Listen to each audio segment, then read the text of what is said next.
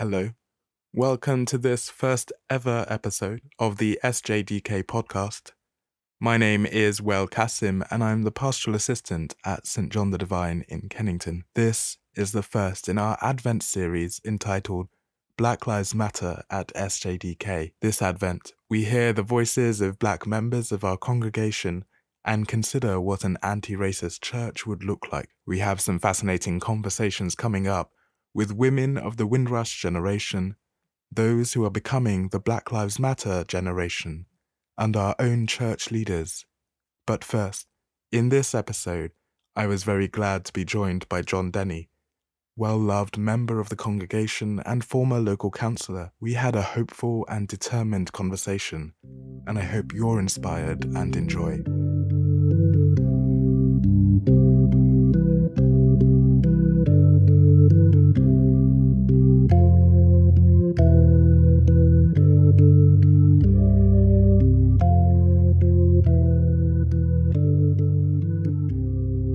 For the benefit of um, uh, anyone who might listen to this, would you just first maybe introduce yourself, uh, say say who you are?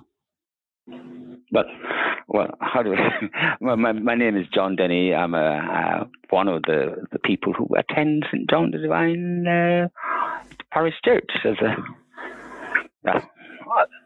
That's great. It's as simple as that. Nothing yeah. great, nothing big about it. It's, it's me. So, um, I wanted to start then with uh, just talking about your experiences. Uh, and I thought maybe it would be interesting for people to first hear about what your earliest memories of St. John the Divine are.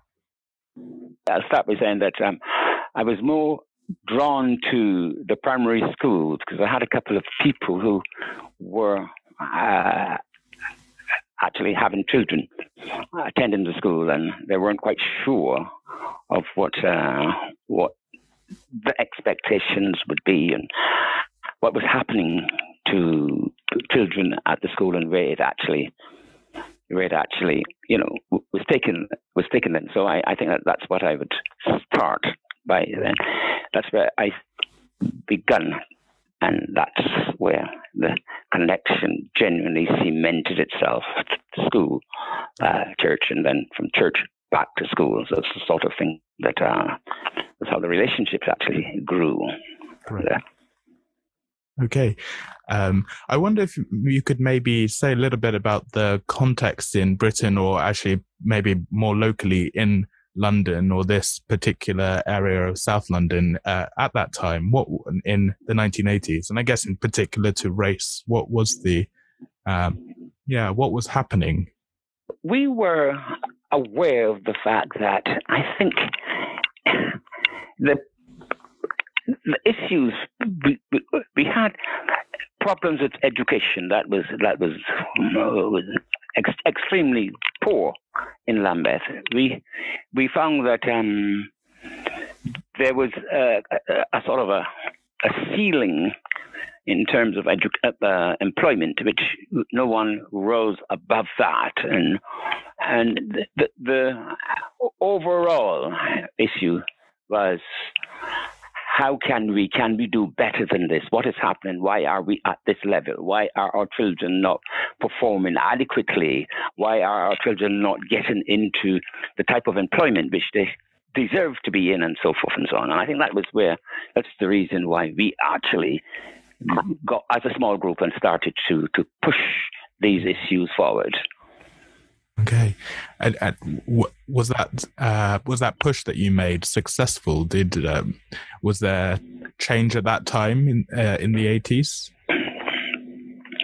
Well, I don't think that there was an. It wasn't an overnight change. Obviously, we it was uh, working on working on the on the issues, putting forward our arguments, getting other people involved, uniting, so to speak, and and gradually this made some impact on on the outlook on what came out of the out of Lambeth as such. The the politicians took some note of what we were doing, and uh, things started to change. Yes, some changes were made.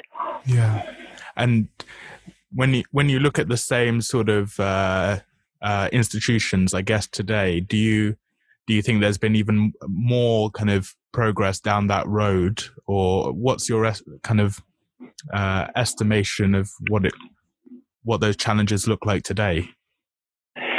Well, I think that the, problems which we encounter today, I mean, is on a wider scale, and I, and I would say that um, it was a, a response by uh, by by David Lammy, uh, who said that uh, uh, the absolute intention should be about and and to prioritize action rather than gestures and commissions, etc.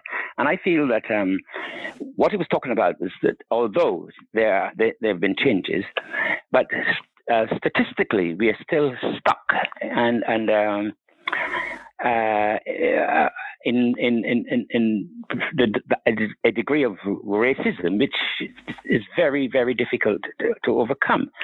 Um, I mean, then we talked about education in um, we talked about education in back in the in, in, the 80s and probably in the 90s, but today we are still finding that uh, the, the, the statistics that uh, I, I, have in mind would be how the number of people that are stopped and searched, the, the, the, the, the actual, the background of those people um, who are, the BAME Britons are about twice as likely to be to die from COVID 19, mm. that uh, white pupils are more than three times likely to achieve higher grades than Afro Caribbeans.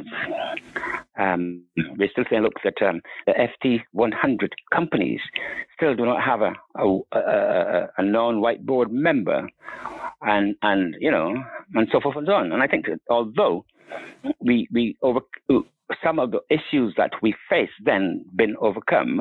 But again, there's just a, another raft of issues that uh, that uh, we are confronted with. So it's difficult to say uh, how whether things have actually changed, whether things have got better or worse. And I think that is that is something that uh, well we'll have to wait and see how that goes right. you know yeah i, I mean it, it is it, i think it's uh, it is often difficult when we talk about uh, the progress that we've made when sometimes it looks actually more like things might have gone backward and actually mm-hmm. ra- racism seems to maybe uh, be a shape-shifting kind of thing uh, it's yeah. not always the same uh, same challenges but there, there's a baseline yeah, yeah. problem but again again i think that this is yeah yeah, the, the, the, I don't know because the same challenge is coming from a different direction, something like that.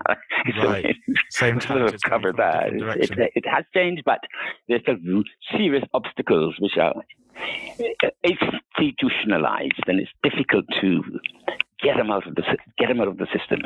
Mm. Great. Uh, uh, I just maybe want to use. You mentioned the statistics about stop and search, um, and actually, I think in October of this year we uh, we learned once again because this isn't a new um, new statistic or new information, but figures in England and Wales were showing that Black people are actually nine times more likely to face stop and search than white people. Well, that's uh, so that's definitely an example of the continuing uh, problem. I just wonder if you could maybe tell me a bit more about uh, the history of yeah. stop and search, particularly in this area that uh, that is local to St John the Divine.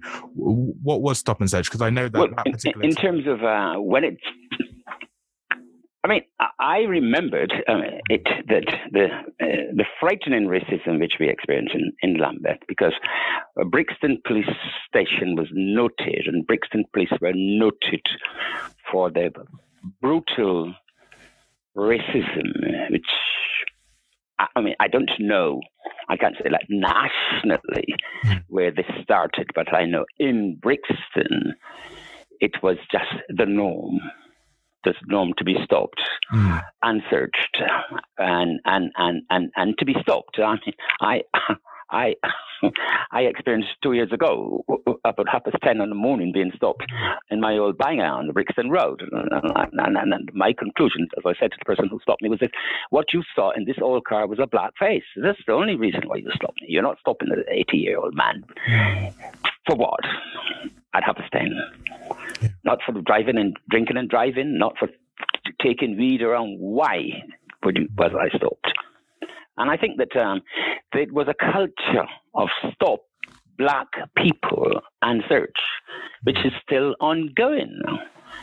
Um, so it's it, again that's an institutionalized approach to us as black people. So when it, when will it stop? How do we overcome it? I don't know. I'm not quite sure how many people were stopped since the lockdown, but uh, yes, yeah. it is. It is. We, we, we, are, we are more likely to be stopped than anyone else, and that's a fact. And this has been part of Lambeth. Nothing different, nothing changed about that. Yeah. I was quite interested to see actually when I was coming into the parish during the tail end of the first lockdown um, to come in for open church, uh, just how many times I did see stop and searches happening in our local community. Uh, and with a, a, lot of regularity. In fact, in some weeks, it was almost every day that I was walking home that I, I would see a stop and search happening. So it's definitely something that's continued. So you picked up on the institutional quality of racism there, um, and you gave that as part of the uh, part of the reason that it's so enduring. Yeah. Um, what I my feel is that uh, within society, within the structure of society, there is an inherent feel. There is a bias. There is a fear, and I and I think these are some of the things which which tend to institute within society. It's fear. It's it's it's bias. It's it's a degree of uncertainty. It's a degree of distrustfulness. I mean, it's all group of feelings and emotions which go into it. Um, and it's and, and and that's the way we see uh, institutional racism. I, I, don't think that quite often it is not about people deliberately setting out because oh, John because John is black, he's I'm going to be racist against him. The question is deep within us, and it's something we we both sides have to begin to understand is um, how to treat me. Look beyond my race, look beyond my color, and see me as a human being, as a person. I think that's that's that's how I see the, the escape, the way out of institutional racism, not to see the person, the color or origin, but as a human being. Yeah. And I think this is how we'd look at, and I would look at um, institutional racism, that it is deep within the person, us. If we can overcome that and see people as human beings, yeah. I think that's so important. Yeah. That's so important to say because in and so often we think of racism in a very naive way about uh, having offended somebody, offending somebody of a different race or a, a, different ethnic group or whatever it is. And actually, if that was the case, it, it seems like it would be a lot easier. But what you're describing, it, it, would be a lot easier to get rid of. But what you're describing is actually a lot scarier. That it's yeah. uh, it's something that's actually much deeper in us and deeper in the yes. institutions around us. Yes, yes, yes. I mean, I haven't, uh, I've not, I haven't actually read the book yet, but I've got, I've looked at it.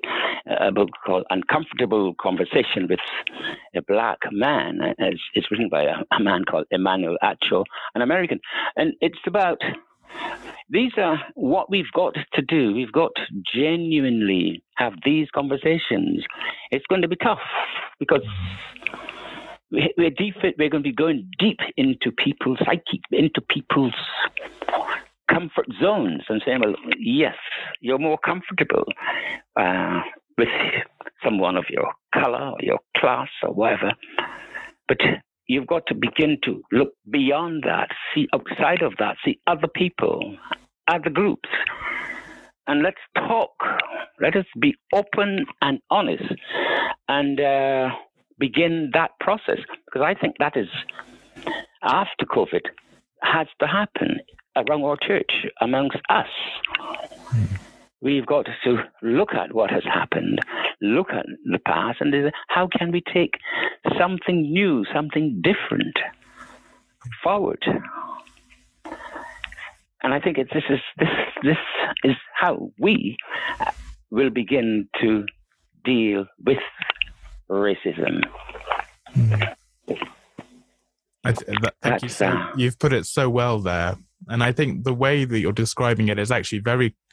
Uh, it has a lot of resonances with the Christian message and what we're called to do as Christians and uh, and disciples in God's kingdom. Uh, yeah. So I, am interested to talk maybe a bit more about the church then, and I, I don't necessarily mean just St. John the Divine, but um, feel free to talk about St. John the Divine. Um, but what are your earliest experiences of, of the church? Oh, my earliest experiences the church was about as a barefooted child mm-hmm. being taken into uh, St. Peter's Parish Church in Barbados, and that's who could be six, I could have been five or six, and that was my uh, that was my experience. Yeah.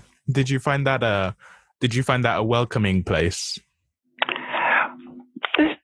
It was. It was because we we were taught we were taught to know places. You know, at that time we were we were not um, we were not um, aware. We weren't terribly aware of what it was that the type of, of racism that uh, was being uh, practiced at that time. We didn't. So that um, it wasn't unusual to go into a church and being unable to sit in the first two or three uh, seats in front of the altar because they were they were uh, not allowed. You you had to pay to sit there, and and or families were not in a position to pay to find that money to pay to sit near the altar. So that, in retrospect, was my first, my understanding later in life of, of racism. Okay. Could you uh, say a bit more? Why did people have to pay to sit uh, closer to the altar? What was happening there?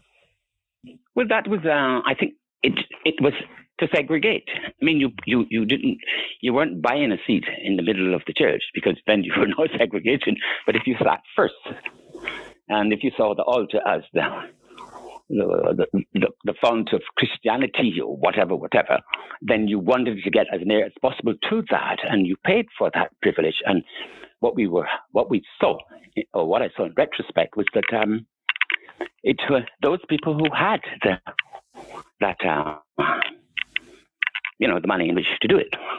Mm. And they, that's that, that's my first encounter. In retrospect, looking back, that's my first encounter of racism time. within the Anglican Church at the time. Mm. Um, here, it wasn't about uh, it wasn't about uh, paying to sit at, up front here, and, and there are people who would say that their experience being told, "Well, you just got to wait until we finish serving." Um, at the altar, and then you come up. You can you you ask you, you know you can come along now. come up late in the day. So it's it has been. I mean, there is no question about it. As an institution, the Anglican Church has been racist. Um, it still is racist. Uh, it's in, as an institution. The question is how, how, how best we can manage to bring justice and equality into the over. And I know that attempts are being made, yes, but uh, it, it's still largely there. Can I ask, did you um, did you see yourself and your community, Black people, um, both in Barbados and here in England, um, reflected in the people who are leading your services, the clergy in the Anglican Church?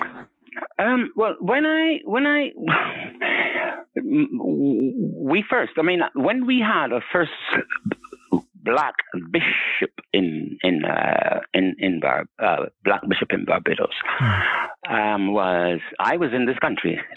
That's so. It's just yesterday that that part of the world we started to to genuinely uh, forge ahead in terms of making the the church a nicer place to be to be part of. Here, um, the system has tried and is trying. It's not. It hasn't got very far. Right?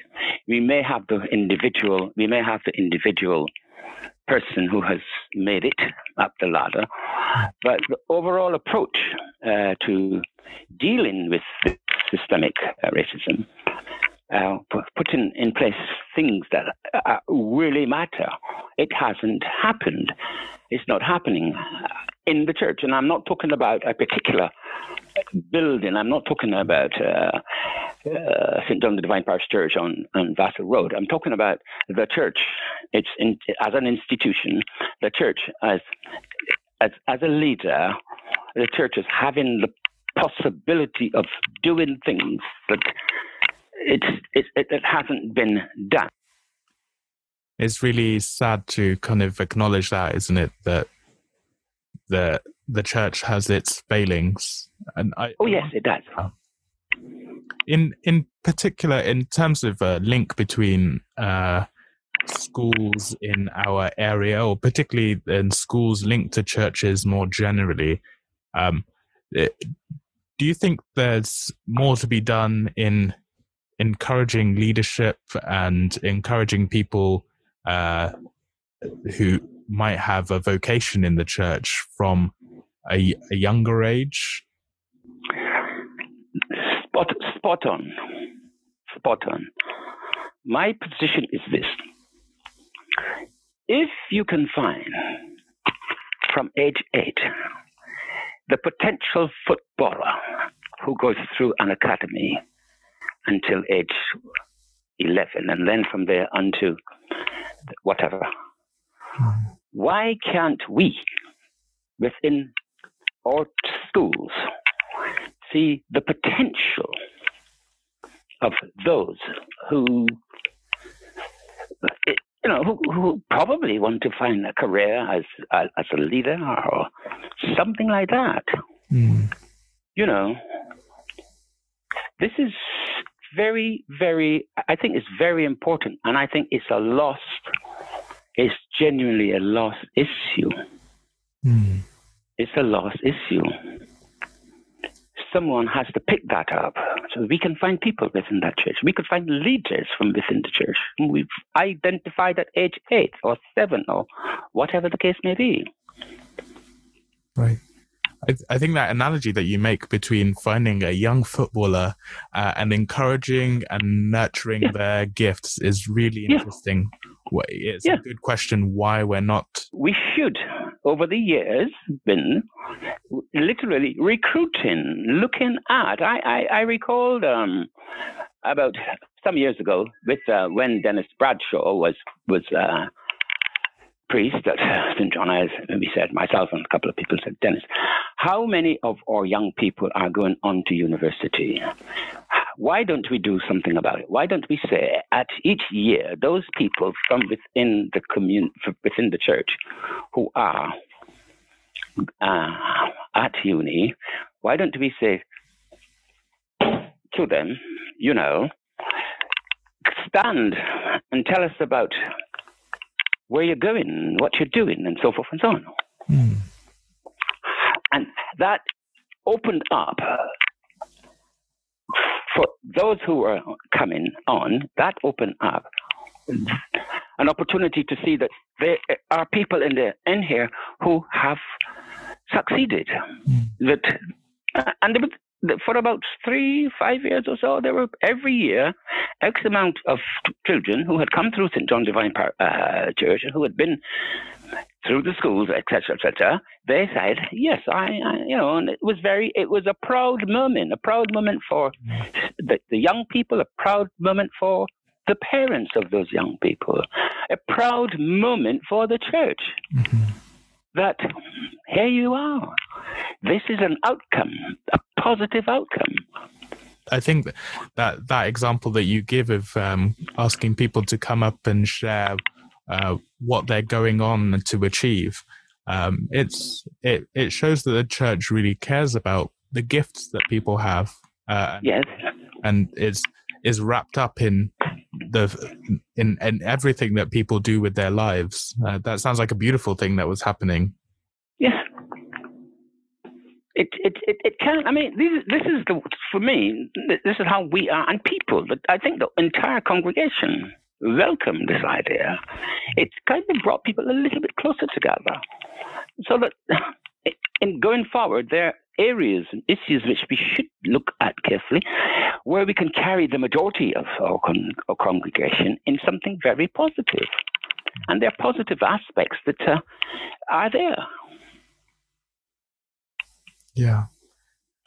I wonder uh, do do you think that the church and I and again I don't necessarily mean St John the Divine um, but do you think the church has played a positive role in anti-racism in the history of anti-racism and e- even if it's a small thing yes mm. and and and there is no question in my mind there is no doubt in my mind that I am I am aware of of this year, of last year, uh, where the church played a very, very important role in helping to tackle racism.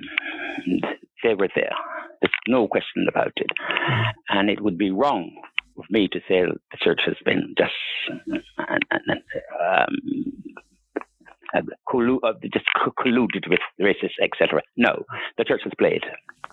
The church has played a substantial part in some of the successes which we have today.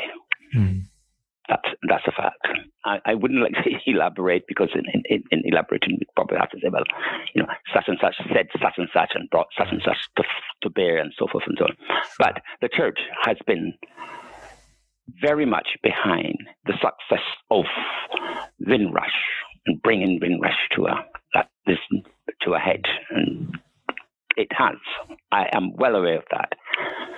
Um, it was not only the politicians, but the church was played a substantial role in that. So, yes, it is there, and it can it can play a, role. It can. It's so close. I mean, the church is so close to people the people who really matter. The church has schools. Yeah. And that's the people who genuinely matter today. And that that positive experience of where the church has played a, a important role in anti-racism, uh, it's to be celebrated. But it also perhaps makes it even more painful when the church isn't doing what it can to the to the fullest. Yes. Yeah. Yeah. Yeah. I think that that is a, that is the real disappointment. Um, you you you this the state cannot bring the church down. Put it that way. Hmm. The church can be a bastion of equality, of, of anti-racism. You name it. It can be because it can't be picked out and said, we will bring you down. We will work against the foundation of a movement and eventually bring no mm. no i wonder then if you could tell us a bit about um, and this can be outside of the church in wider society what campaigns against racism do you think have been most influential in your lifetime what have you seen as a real success I think that when we look at the um, the various um, laws which have been enacted, I mean, some of those laws, some uh, legislation has been successful. I mean, we, we, we've looked at the, the fact that uh, abuse, abusive, being uh, abusing people of a different color or something like that is against the law. It can be used by these people, by the authorities. So that we managed to suppress, we've managed to, to, to bring into, uh, into play uh, laws which has dampened uh, some of the more vulgar uh, and, and, and, and nastier aspects of, of racism. We know that the local authorities have taken action against the the kind of uh, the kind of people whom you would normally meet on a, a local housing estate and so forth and so on. So um, there are positive parts of it, uh, no question about it. But and that has been done by um, by the government, by local authorities, by groups who have fought and fought and fought and fought for um, equality and for justice and so forth and so forth.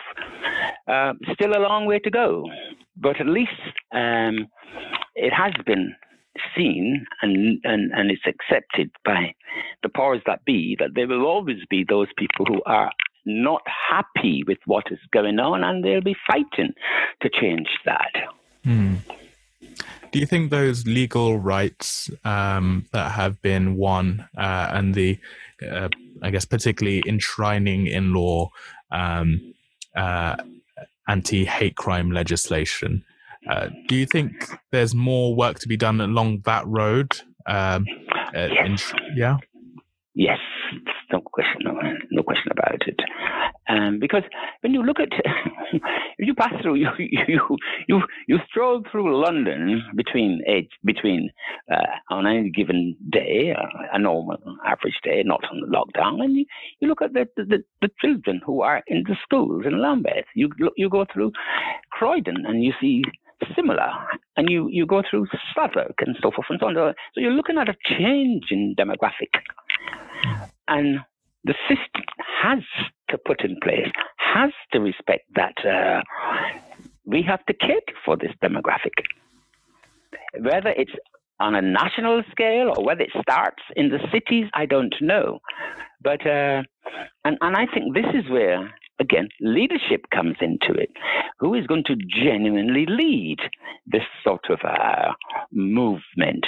It, it, it's, it's not going to be led by uh, political parties uh, because, you know, political parties, they have their own interests, they're, they're, they're people to support, etc., etc. But outside of that, this is a democratic, which within 10, 15 years, if it's not properly handled, what is going to happen? Mm-hmm. Where are we going? Where you have a look at St John the Divine uh, Primary. Have a look at uh, any any school around in this area. And again, it comes back to the church because the church should have and must have influence in dealing and looking at this within the next 10 to 15 years. The child today at, at, at uh, who enters the primary school at, at age four, whatever the case may be, in 10 years' time, that child is 14 you know, in 15 years, that's that's that's a 19 year old.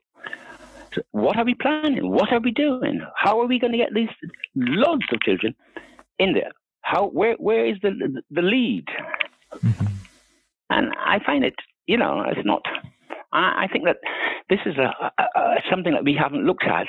The lead isn't coming from the politicians because the politicians are not looking at a four-year-old uh, and, and, thinking, well, you know, in four year, in, in 14 years' time, this child is going to vote this side or that side, or etc.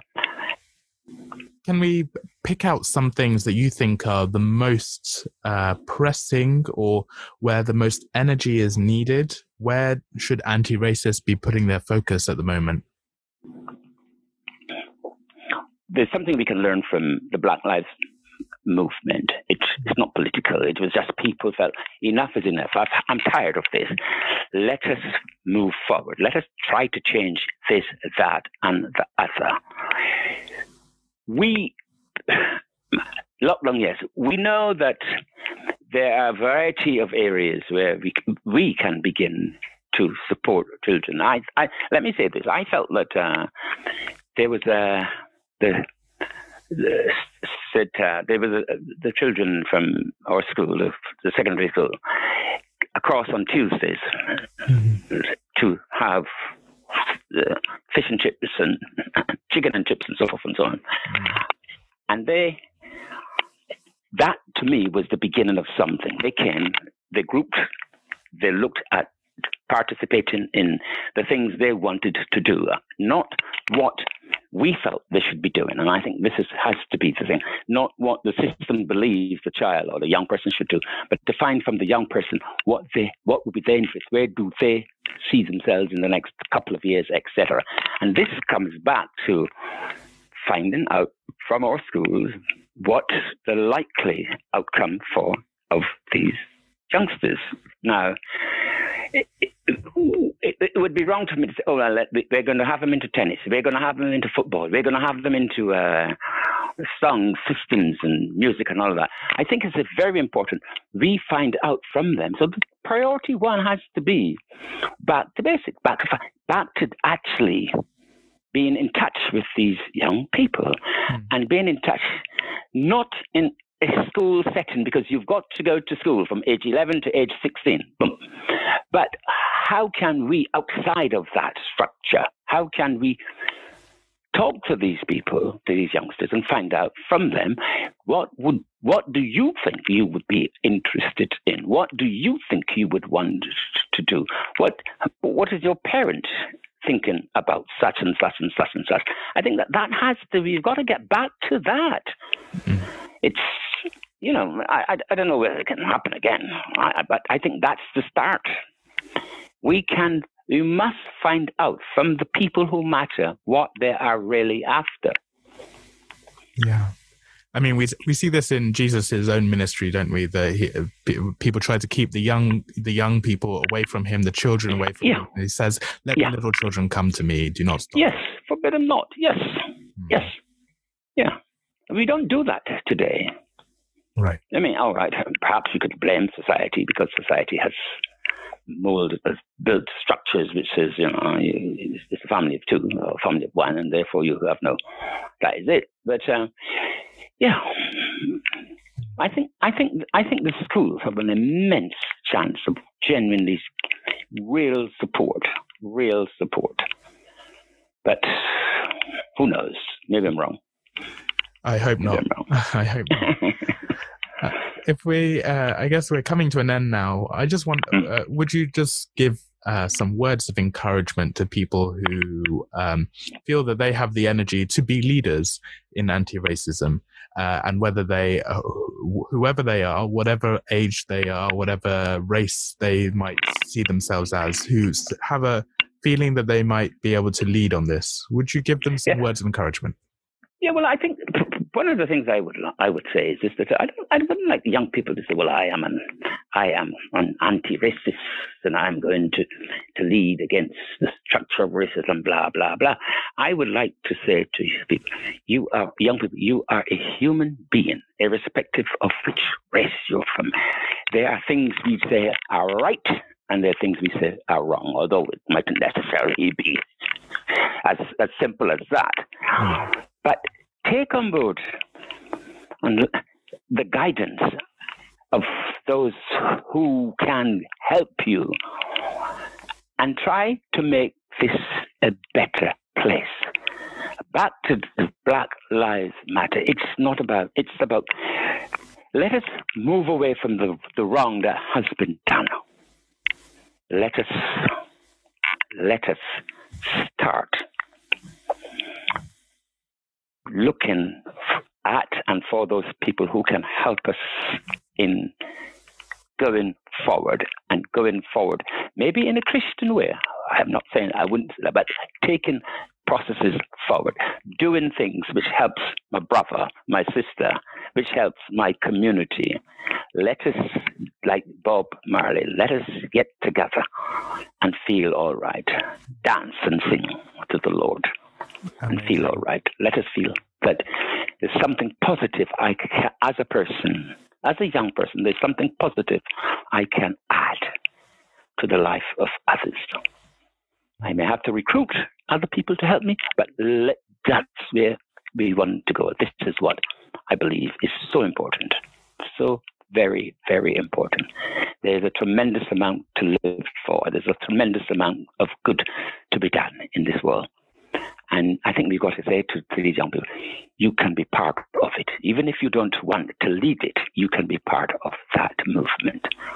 And the movement is about doing good things to help others who mightn't be as fortunate as I. I think that's that. That will be my word. Amazing to young people, and it's there. And young people will do it. They'll, not everyone, but the potential is there and there's some good things still being done in our church. but we need to have a, a fresh look, a new beginning. I hope it comes after COVID. Amazing. John, thank and you so much. Uh, it's been great to listen to you and to talk with you. Uh, and I'm looking forward yes. to that day when we can uh, be together again. And we will. Don't worry. we will. Don't worry. I promise you. I promise you. We will. Don't Absolutely. worry.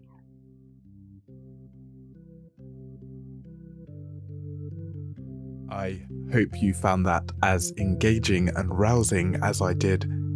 I love John's determination that there is work to do and we ought to do it, especially in thinking about how we do that alongside our young people. In next week's episode, we delve once again into the history with women of the Windrush generation. Join us then for another Black Lives Matter at SJDK.